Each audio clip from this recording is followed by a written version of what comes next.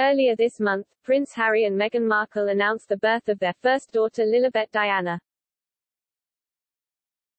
Royal commentator Katie Nicholl told ET that the Duke and Duchess of Sussex's second child could be a rift healer between the couple and the rest of the royal family.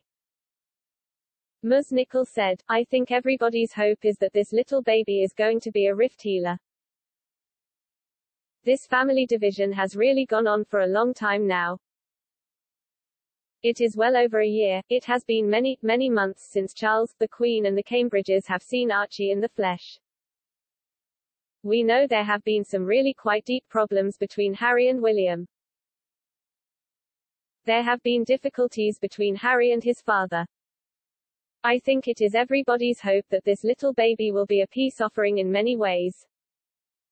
And that she will help bring this divided family back together. Last week, Us Weekly royal commentators Joe Drake and Molly Mulshine discussed Prince Harry and Meghan Markle's name choice for their second child.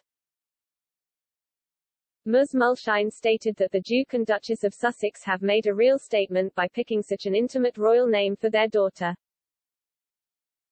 Mr. Drake said, Archie was very much out of left field in my opinion.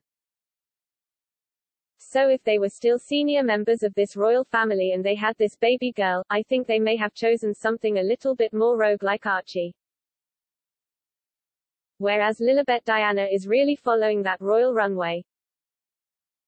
Ms. Mulshine replied, right, Lilibet Diana is really planting a flag in the ground and saying this is a royal baby. This baby is royal make no mistake, she is intimately royal.